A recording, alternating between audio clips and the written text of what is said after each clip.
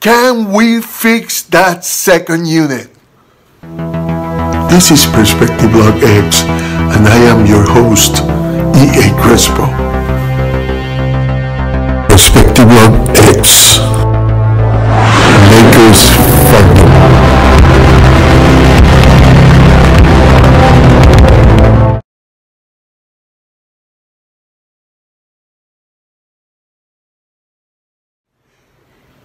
Here are my shout outs. All right, first one is going to David CC1, second to Raw Status TV, third one to Brisk Clown, and the fourth one to Michael Martin. Shout outs to all of you. And also, I want to give a shout out to Dan the Lakers fan, Big Baby Jonathan, who are both YouTubers that concentrate their uh, broadcastings on the Lakers. So, shout outs to all of you.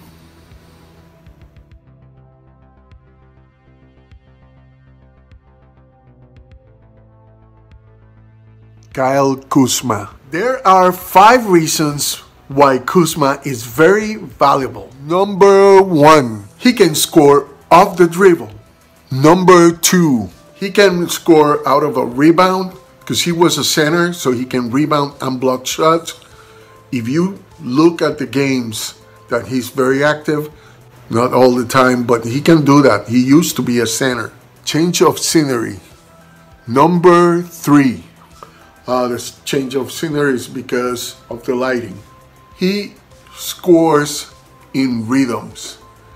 That means that if he gets going, he's going to make a lot of shots. He can score probably 15 or 20 points in a hurry, in probably in seven, eight minutes. Number four, his arsenal is huge.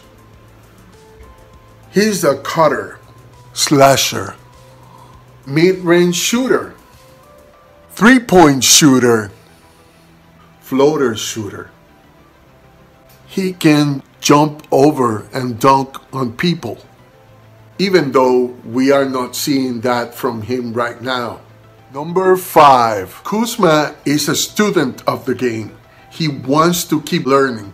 At the time that I am making this video, He's been about three weeks where Kuzma has been known to be studying Scottie Pippen's style of uh, defensive game to get information and emulate some of the things and bring them to his game. Kuzma's problems, the psychological effect of the injury might be more difficult to heal the, the actual physical injury.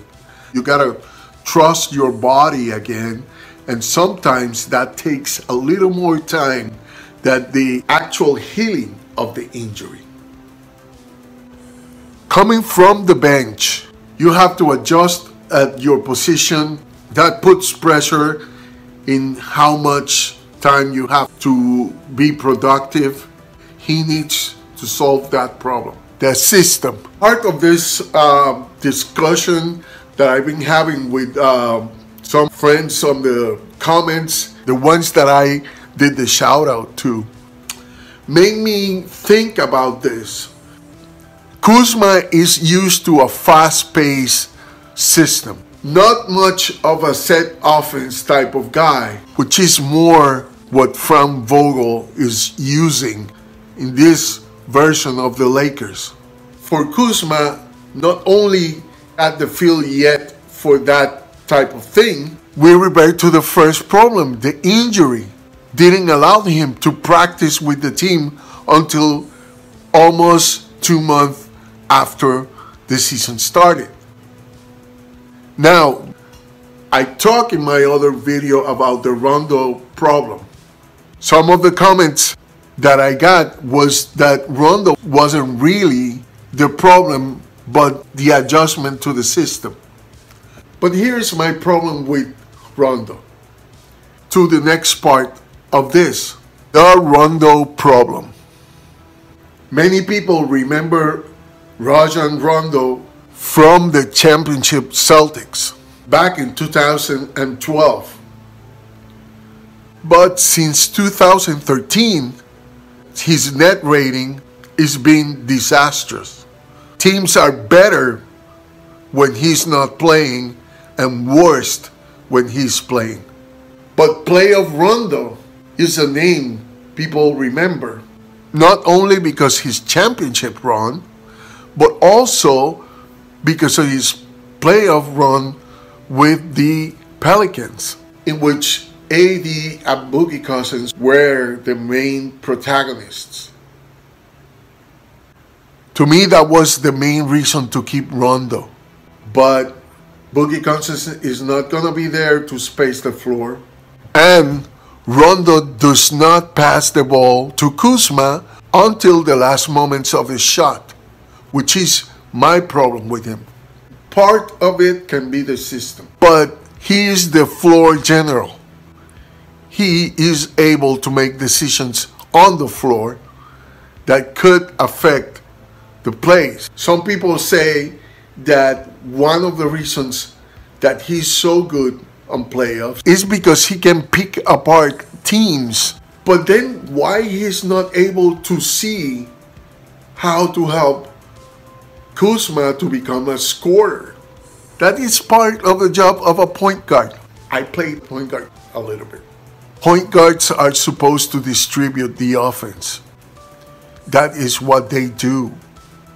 And in the last seven seasons, Rondo hasn't been able to do that, at least on regular seasons. Will we see playoff Rondo on the playoffs? I hope so. Will we see a different Kuzma on the playoffs? I also hope so. In my next section, if I were a Lakers coach, or you could say a GM, hit me in the comments and let me know what would you do if you were Pelinka? What would you do if you were Vogel? It's not like we are gonna influence them, but we can have a little fun. There are certain things I would do. I would set small goals and I would seat Rondo and I would seat Kuzma and I would say, this is what I want you to do in the second unit. Rondo, I want you to involve Kuzma in this particular place that I'm gonna design for him to score. And I want them to score at least two baskets in every quarter. The time is gonna be between five to seven minutes each quarter. And depending on each quarter, the next one could be more time, less time, or no time, depending on how the game goes. But establish small goals for Kuzma to score. And sit down Rajon so he can use his floor general abilities to do that. Also, I would have to design those plays. I need to rest veterans. If you enjoyed this video, please hit the like button. For more videos, subscribe to my channel and turn on the notifications so you don't miss anything. And to help the channel grow, please share it with your friends later and go Lakers. Enjoy the game.